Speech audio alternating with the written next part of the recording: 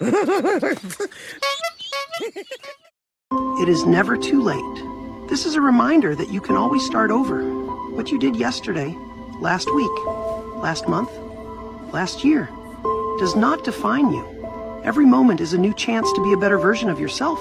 So whatever wrong you felt you did, or mistakes you've made, that your mind is constantly replaying causing you to suffer, does not define the rest of your life. It is never too late to make new choices, to change your perspective, to try harder, to take a risk, to be happy.